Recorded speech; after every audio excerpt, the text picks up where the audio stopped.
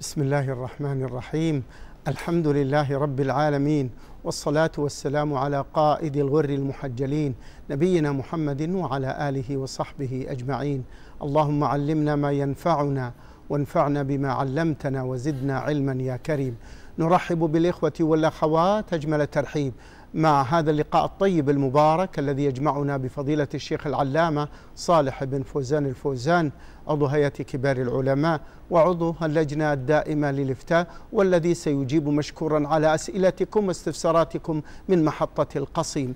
أهلا ومرحبا بالشيخ في هذا اللقاء. حياكم الله وبارك فيكم.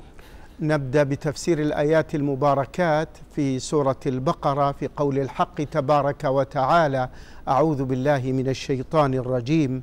وإن كنتم على سفر ولم تجدوا ولم تجدوا كاتبا فرهان مقبوضة فإن أمن بعضكم بعضا فليؤدي الذي اؤتمن أمانته وليتق الله ربه ولا تكتموا الشهادة ومن يكتمها فإنه آثم قلبه والله بما تعملون عليم. لله ما في السماوات وما في الأرض وإن تبدوا ما في أنفسكم أو تخفوه يحاسبكم به الله فيغفر لمن يشاء ويعذب من يشاء والله على كل شيء قدير. بسم الله الرحمن الرحيم. الحمد لله رب العالمين. صلى الله وسلم على نبينا محمد وعلى آله وأصحابه أجمعين. هذه الآية والتي قبلها في بيان توثيق الديون والحقوق وذلك بأمور. أولا الكتابة كتابة العقد والإشهاد عليه.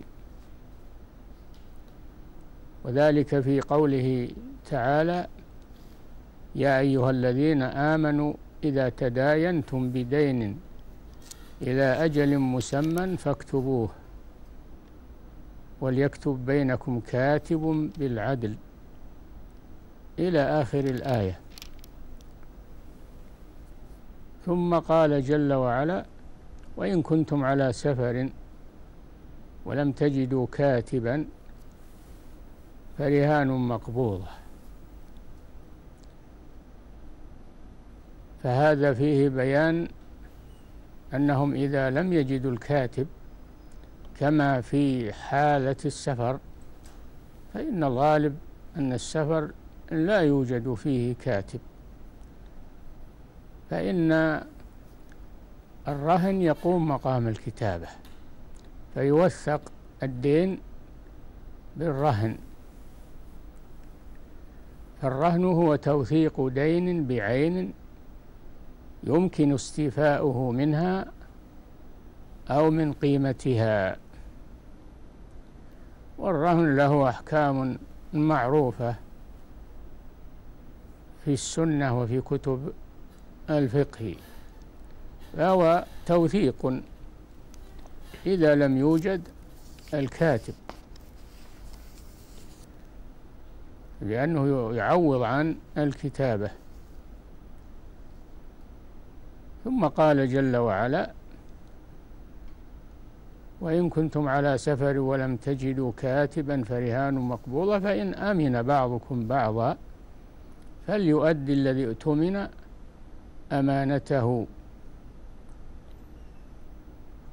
فإذا أمن بعض العاقدين البعض الآخر لم يحتج إلى إلى كتابة ورهن لكن يجب على المؤتمن الذي لم يوثق الدين عليه لا ينتهز هذه الفرصة فينكر الدين أو يتباطأ في تسديده إذا حل أجله.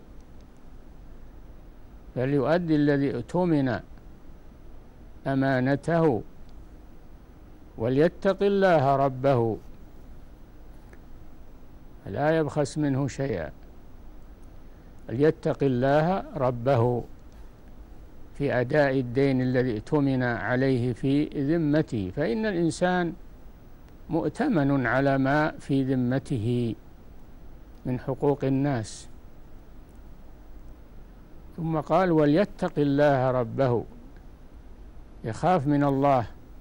عز وجل ويتقي غضبه فيؤدي ما ائتمنه صاحبه عليه من غير بخس ولا مماطلة ولا تأخير عن الأجل ولا قال جل وعلا ولا تكتموا الشهادة هذا أمر للشهود. الذين شهدوا على حق من الحقوق أو على دين من الديون أنهم إذا طلبت منهم الشهادة وجب عليهم أن يؤدوها على ما تحملوها من غير كتمان ولا نقص ولا زيادة. ولا تكتموا الشهادة حتى إنه إذا كان استدعى الأمر أن يخاف أن أن يضيع الحق وصاحبه لا يدري أن هناك شهودا عليه فإن على الشهود أن يتقدموا ويؤدوا الشهادة لئلا يضيع لئلا يضيع الحق لأن هذا أمانة في ذمتهم أنهم يعلمون هذا الحق الذي تعرض للضياع. ما يدل على أهمية أداء الشهادة لأنها توصل الحقوق إلى أهلها وتردع الظلمة والمنكرين لحقوق الناس.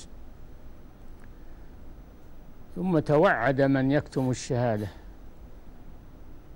فقال سبحانه ومن يكتمها فإنه آثم قلبه. يحصل على الإثم. وذكر قلبه أن آثم قلبه لأن الأمر يتعلق بالقلب. صحيح. المسلم يخاف على نفسه وعلى قلبه. من أن ينكر الشهادة أو يجحد الشهادة أو يتثاقل في أدائها. ثم قال جل وعلا والله بما تعملون عليم.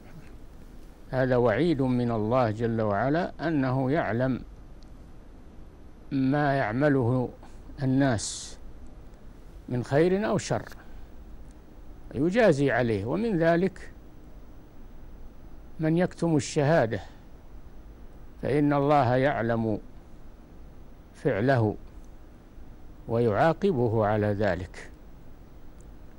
ثم قال سبحانه لله ما في السماوات وما في الأرض. هذا خبر من الله جل وعلا. معناه أن جميع من في السماوات والأرض والسماوات والأرض ومن فيها كلهم ملك الله جل وعلا. ملكا وعبيدا. لله ما في السماوات وما في الأرض. لا شريك له في ذلك. لله ما في السماوات وما في الأرض وإن تبدوا ما في أنفسكم أو تخفوه يحاسبكم به الله فيغفر لمن يشاء ويعذب من يشاء والله على كل شيء قدير. لما نزلت هذه الآية شقت على الصحابة مشقة عظيمة وجاءوا إلى النبي صلى الله عليه وسلم. يبينون أنهم تحملوا مسؤولية عظيمة. إذا كان الله سيحاسبهم عن ما أخفوا وما أعلنوا. إن تبدوا ما في أنفسكم أو تخفوه يحاسب على ما في النفس. من من الهموم والوساوس ومن النيات ومن ما في القلوب. ولو لم يتكلموا ولو لم يتكلموا بذلك شق عليهم هذا جاءوا يشتكون إلى الرسول صلى الله عليه وسلم. الصعوبة التي لأنهم يؤمنون بالقرآن وينفذون ما فيه. هم يسمعون القرآن فقط ولا يمتثلون ما فيه ولا يخافون من وعيده بل هم يخافون من وعيد الله جل وعلا. فقال النبي صلى الله عليه وسلم لهم أتريدون أن تقولوا كما قالت بنو إسرائيل سمعنا وعصينا؟ قولوا سمعنا وأطعنا. فقالوا سمعنا وأطعنا. وخضعوا لكلام الله سبحانه وتعالى وذلت بذلك ألسنتهم.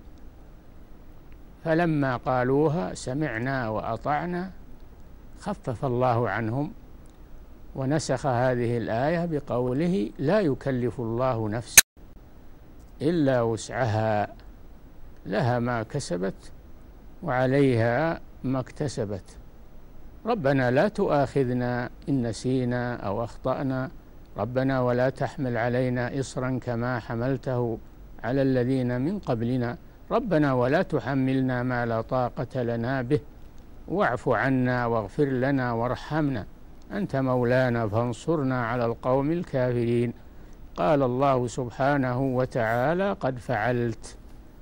هذا جزاؤهم لما امتثلوا أمر ربهم وقالوا سمعنا وأطعنا. مع ما في ذلك من المشقة عليهم خفف الله عنهم. أما بنو إسرائيل لما قالوا سمعنا وعصينا شدد الله عليهم وحرم عليهم أشياء كانت حلالا لهم من باب العقوبة.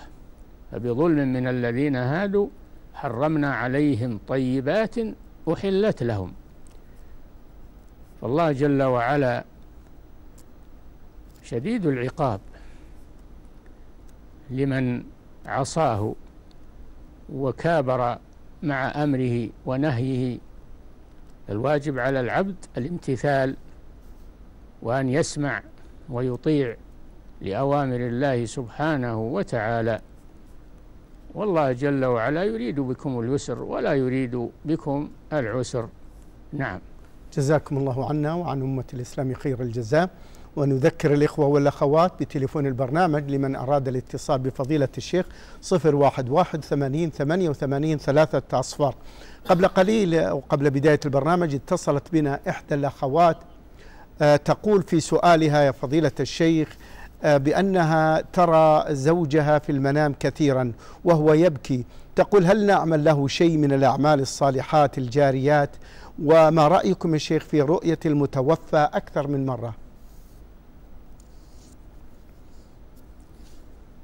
الرؤيا حق منها شيء حق وهو ما يجري على يد ملك الرؤيا منها ما هو أضغاث أحلام ومنها ما هو من الشيطان. فليس كل الرؤيا تكون حقا لكن بعضها حق. وإذا تصدقوا عن ميتهم ودعوا له وعملوا له أعمالا مما جاء في في الدليل أنه يصل إليه ثوابه فإن ذلك ينفعه ويصل إليه إذا تقبله الله حتى ولو لم يروا رؤيا. نعم. أحسن الله إليكم. معنا عبد الله من جدة. تفضل أخي عبد الله ألو السلام عليكم. عليكم السلام. اكسر التلفزيون يا عبد الله اكسر التلفزيون لأن في في صدى بين مرة, مرة في الشارع مو في البيت. تفضل. تفضل. ألو. نعم تفضل يا أخي. يا أخوي أنا عندي سؤالين. تفضل. آه. بالنسبة بعد أذان كل الصلاة الخمسة أدخل المسجد أصلي ركعتين. تمام؟ نعم. آه هل يجوز أنوي بثلاث نيات؟ إيه؟ طيب. طيب. والسؤال الثاني. نعم. عندي آه إمام المسجد دائما مستعجل في الصلاة. آه يعني آه سبحان في الرك في الركوع ولا؟ إيوه إيوه في, في عند القراءة الفاتحة ما ما نكمل الفاتحة على طول يركع. طيب. هل علينا شيء؟ طيب. آه، الشيخ صالح في سؤاله الأول يسأل عن السنن الرواتب وهل لكل آه، ركعتين آه، نية؟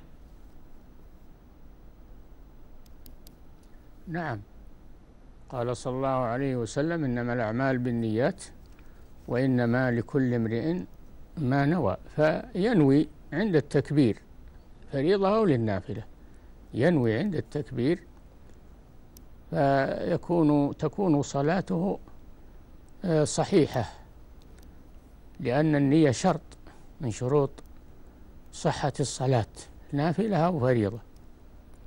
والرواتب مع الفرائض منها رواتب قبل الفرائض ومنها رواتب قبلها وبعدها ومنها صلوات ليس لها راتبة لا قبلها ولا بعدها. فمثلا الظهر لها راتبة قبلها ولها راتبة بعدها. صلاة العصر ليس لها راتبة لا قبلها ولا بعدها. صلاة المغرب لها راتبة قبلها. صلاة العشاء لها راتبة قبلها. لها راتبة بعدها. صلاة العشاء لها راتبة بعدها. وأما قبلها فيتنفل الإنسان بما شاء نفلا مطلقا.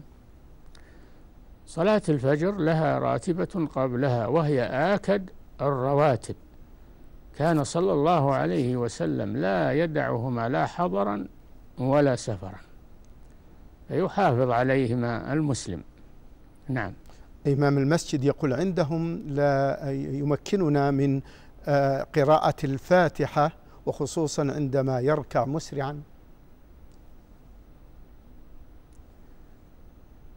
الإمام ضامن الإمام ضامن كما في الحديث فهو ضامن لصلاة من خلفه فعليه أن يتأنى ليمكن من خلفه من الإتيان بأركان الصلاة وواجباتها ولا يستعجل عليهم. فإن ما يحصل في صلاتهم من نقص يكون عليه قال صلى الله عليه وسلم في الأئمة يصلون لكم فإن أحسنوا فلكم ولهم وإن أساءوا فلكم وعليهم. فالإمام عليه مسؤولية عظيمة. ثم على المأموم أيضا أن لا يتأخر ويتباطأ بل يبادر بالإتيان بما شرع الله سبحانه وتعالى في الصلاة ولا يتباطأ بذلك. لكن لو قدر أن الإمام ركع قبل أن يقرأ الفاتحة أو قبل أن يكملها فإنه يركع معه وتصح صلاته في هذه الحالة. نعم. آه مبارك من أبها معنا على الخط. نعم. تفضل. ألو؟ تفضل مبارك. السلام عليكم ورحمة الله وبركاته. عليكم السلام. سؤالي يا طويل العمر. نعم. يا أخ معي ولا؟ نعم نعم معك الله يحفظك. إيه، لا الله يحفظك. سؤالي آه، أبو الزوجه وش اسمه؟ أم الزوجة. هي من قبيلة والرجال من قبيلة. زوج المرأة البنت. هل يسلم على الام على الأم الزوجة؟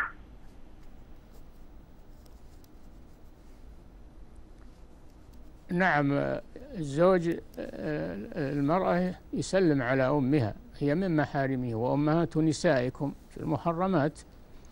فيسلم على أم زوجته وعلى جدتها وجدة جدتها. فيسلم عليها. هذا بنص القرآن أنها أنه محرم لها وهي محرمة عليه. ولو كانت هي من قبيلة وهو من قبيلة هذا من باب تحريم الإصهار. الصهر. نعم. أحسن الله إليكم. الذهب الملبوس هل عليه زكاة؟ الصحيح والمفتى به أنه لا زكاة عليه. لأن هذا يكلف المرأة مشقة وقد يحرمها من اتخاذ الحلي إذا كانت فقيرة ولأن الحلي الذي يستعمل هو من جملة الملبوسات كالملابس وغيرها. نعم. المرأة التي توفي زوجها هل تذهب للزواجات والأفراح والتنزه مع أهلها؟ لا. لا تل تلزم البيت ولا تخرج منه إلا لحاجتها في النهار خاصة ولا تذهب إلى بيوت الأفراح والنزهات وغير ذلك حتى تنتهي عدتها. قال صلى الله عليه وسلم للمتوفى عنها امكثي في البيت حتى يبلغ الكتاب أجله. نعم. يحيى من جدة. تفضل يا يحيى. ألو السلام عليكم. وعليكم السلام. كيف الحال يا طيب الله يحفظك. الله يجزاك خير يا شيخ. أنا عندي سؤالين. تفضل. آه، السؤال الأول إن أنا موظف شركة وراتبي ضعيف وعندي والدين الله يطول بعمرهم ودي انفق عليهم ولكن يعني فوق طاقتي يطلبوني أوقات يعني. فما أقدر إني أدفع يعني أكثر من من طاقتي. فأوقات أجل آه، اغراضي أموري أشياء محتاجها ضروري أجلها. فكل من شهر لشهر لشهر طيب. لدرجة اني لا اتزوج ولا واضح. السؤال واضح يا يحيى يجاوب الشيخ. حلو آه، يجاوب الشيخ على السؤال. يا أخي أنفق أنفق على والديك ومن تلزمك نفقته على حسب ما تستطيع. لا يكلف الله نفسا إلا وسعها. فأنفق عليهم على حسب استطاعتك ومقدرتك. نعم. آه، بقي سؤال. الله يعطيك العافية بيض الله وجهك شكرا. آه، فضيلة الشيخ يقول آه، حفظكم الله من جهة آه، أنني تخرجت من كلية الشريعة واخترت قاضيا وأنا ليس لي الحقيقة شيء في القضاء ولا أريد القضاء فبماذا يوجه الشيخ مثل مثلي وغيري؟ نوجهه بأنه يلزمك الامتثال فإذا أخذت للقضاء ولم تطلبه أنت فإن الله يعينك عليه. فإن الله يعينك عليه وأنت متخرج من كلية الشريعة ولله الحمد درست الفقه والحديث والتفسير درست علوم الشريعة فواجب عليك إذا طلبك ولي الأمر أن تمتثل. ويعينك الله سبحانه وتعالى على ذلك. نعم. أبو عبد العزيز من الرياض. تفضل أبو عبد العزيز. مساك الله بالخير يا شيخ. أنت والشيخ الفاضل الله يحفظك. الله يحييك. تفضل. أبو عبد العزيز قصر التلفزيون شوي. حياكم الله. تفضل. آه شيخ شالح آه، عندي سؤال طال عمرك. نظرت نظرة لله سبحانه عز وجل. وما وفيت بالنظر هذا. وما أدري كيف يعني أصوم ثلاث أيام ولا أطعم آه، عشرة مساكين.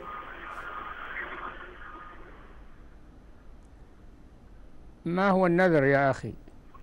النظر طال عمرك نظرت لله أني إذا تركت ال- العمل هذا وأنا سالم غانم لا أمشي 60 كيلو على على رجولي.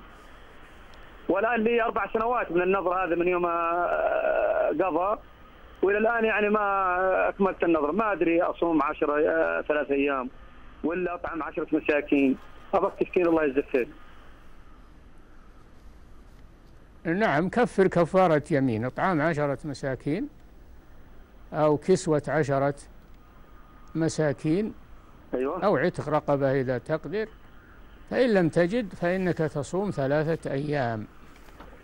نعم. أيوه. أحسن الله إليكم وبارك فيكم.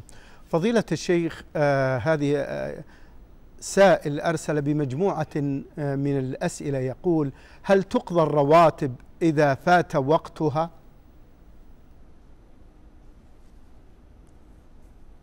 راتبة الفجر تقضى معها لأن النبي صلى الله عليه وسلم لما فاتتهم صلاة الفجر في بعض الأسفار بسبب النوم الذي أصابهم بعد السهر فإنه صلى الله عليه وسلم لما أراد أن يقضي صلاة الفجر بأصحابه أدى قبلها الراتبة التي قبلها. ورد أيضا أن. أن راتبة الظهر القبلية تقضى بعدها. فإذا قضاها هذا حسن وفيه خير إن شاء الله. نعم. عبد الله من القصيم. تفضل يا عبد الله. السلام عليكم. وعليكم السلام. عندي سؤال الله. يحفظك بسأل الشيخ. تفضل. ما إذا ما صلى الشخص صلاة المغرب ودخل مع هذا يبي يصلي ولقى وجد جماعة في المسجد يبي يصلون العشاء. كيف الطريقة؟ يدخل معهم أو يصلي قبل المغرب.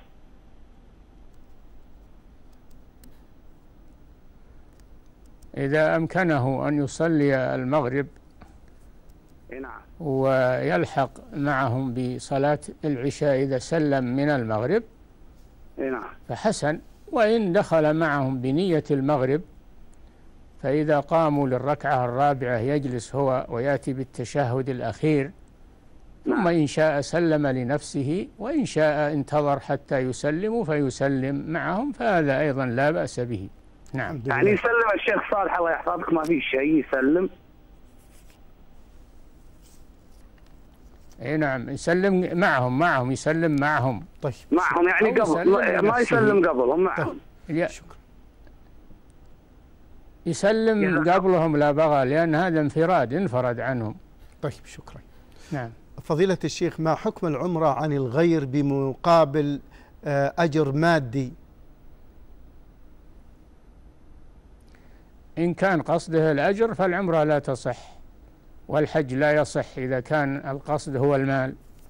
أما إذا كان القصد أن ينفع أخاه ويبرئ ذمته ويأخذ المال ليستعين به على سفره وعلى ما ينوبه فلا بأس بذلك. نعم. هذا يسأل يقول فضيلة الشيخ أحمد من جدة ما الدليل على عموم الرسالة المحمدية الخالدة؟ أحسن الله إليكم. يا أخي ما تقرأ القرآن؟ الله جل وعلا قال وما أرسلناك إلا كافة للناس بشيرا ونذيرا. وقال سبحانه وتعالى قل يا أيها الناس إني رسول الله إليكم جميعا الذي له ملك السماوات والأرض. وقال صلى الله عليه وسلم كان النبي يبعث إلى قومه خاصة وبعثت إلى الناس كافة وكان يكاتب الملوك والرؤساء يدعوهم إلى الإسلام من ملك الفرس وملك الروم كتب إليهم يدعوهم إلى الإسلام. فدل على عموم رسالته صلى الله عليه وسلم. وأيضا ما حصل فإن الإسلام انتشر في المشارق والمغارب ودخل فيه العرب والعجم ودخل فيه غالب الأمم.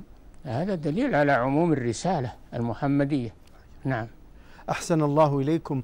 الأخت السائلة تقول يا شيخ كم مدة زوال الشمس المنهي عن الصلاة فيها؟ آه، ال- الوقت النهي هو إذا توسطت الشمس فوق الرؤوس. فإذا توسطت فوق الرؤوس فلا صلاة حينئذ ولكنه وقت قصير. لا يتسع لصلاة. فإذا زالت الشمس عن الرؤوس إلى جهة الغرب وبدأ الظل ولو قليلا جهة الشرق فإنه دخل وقت الظهر وزال وقت النهي. قوله لقوله تعالى أقم الصلاة لدلوك الشمس. ودلوك الشمس هو زوالها عن محاذاة الرؤوس. نعم.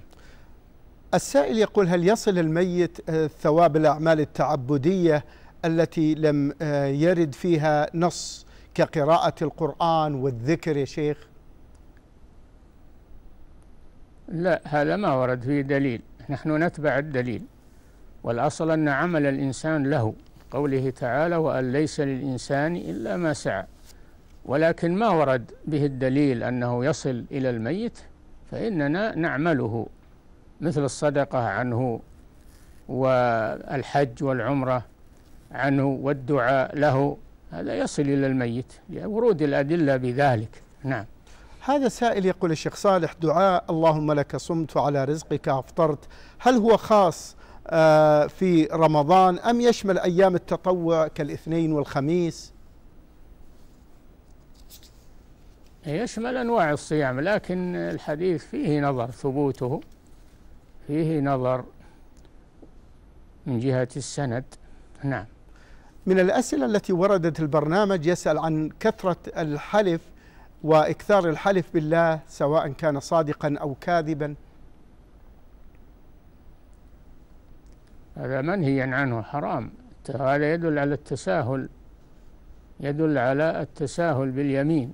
قال الله جل وعلا ولا تطع كل حلاف أي كثير الحلف. ولا تطع كل حلاف مهين هماز مشاء بنميم مناع للخير معتد أثيم فبدأ بكثرة الحلف لأن هذا يدل على التهاون والتساهل في الحلف. في الحديث أن من الثلاثة الذين لا يكلمهم الله ولا ينظر إليهم يوم القيامة ولا يزكيهم ولهم عذاب أليم منهم رجل جعل الله بضاعته لا يشتري إلا بيمينه ولا يبيع إلا بيمينه. الله جل وعلا قال واحفظوا أيمانكم. فلا يحلف الإنسان إلا عند الحاجة ولا يحلف بالله إلا وهو صادق. نعم. أحسن الله إليكم. فضيلة الشيخ هذا يسأل آه، الفرق بين الجائز والحلال. الجائز والحلال سواء لا فرق بينهما. والمباح الجائز والمباح والحلال كل هذه ألفاظ مترادفة. نعم. هل على الدين زكاة؟ نعم الدين عليه زكاة لأنه ملك للداين فيزكيه إلا إذا كان لا يدري هل يحصل عليه أو لا. لأن كان عند مماطل لا يدري هل يقدر على أخذه منه أو لا أو كان على معسر لا يدري هل يستطيع القضاء أو لا. فإنه لا تجب عليه زكاة حتى يقبضه. فإذا قبضه زكاه عن سنة واحدة. نعم. أحسن الله إليكم. فضيلة الشيخ من الأسئلة التي وردت البرنامج يسأل عن أسباب عدم إجابة الدعاء. أسباب عدم إجابة الدعاء كثيرة. كان يدعو بإثم أو قطيعة رحم. أو يدعو يعتدي في الدعاء إنه لا يحب ادعوا ربكم تضرعا وخفية إنه لا يحب المعتدين. لا يعتدي بالدعاء فيدعو على من لا يستحق الدعاء ويظلم الناس. فعليه أن أن يدعو الله كذلك مما يمنع قبول الدعاء كما في الحديث أكل الحرام. قال صلى الله عليه وسلم في الرجل يطيل السفر أشعث أغبر. يمد يديه إلى السماء يا رب يا رب ومطعمه حرام ومشربه حرام وملبسه حرام وغذي بالحرام فأنى يستجاب لذلك. وقال لسعد بن أبي وقاص لما قال له ادعو الله أن يجعلني مجاب الدعوة. قال أطب مطعمك يستجب آه، تستجب دعوتك. نعم. نختم هذا اللقاء كما أشار زميلي آه، مخرج هذه الحلقة الشيخ صالح عن قراءة القرآن بالترتيب وختمه في الصلوات الجهرية هل هو سنة أم بدعة؟ هذا لا أصل له وهذا أيضا يكلف الأئمة يظنون أنه سنة وهو ليس كذلك يقرأ ما تيسر من القرآن كما قال جل وعلا فاقرأوا ما تيسر منه. إنما هذا في رمضان في صلاة التراويح والتهجد. ويختم القرآن من أوله إلى آخره. لكن فيه من عكس الأمر الآن وصار يريد أن يختم القرآن في الصلوات المفروضة ولا يختمه في صلاة التراويح. هذا عكس السنة. نعم.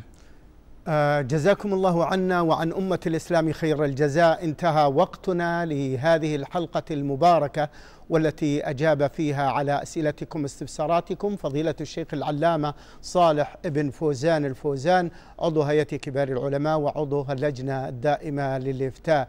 أشكر الشيخ صالح حفظه الله وأشكر زملائي في استوديو القصيم الذين استقبلوا الشيخ وهيئوا هذا اللقاء الطيب المبارك مع الإخوة والأخوات. كما أشكر زملائي معي في استوديو الرياض من مخرجين ومعدين وفنيين. زميلي معجب الدوسري يتمنى لكم أوقاتا طيبة وعامرة بذكر الله عز وجل. والسلام عليكم ورحمة الله وبركاته.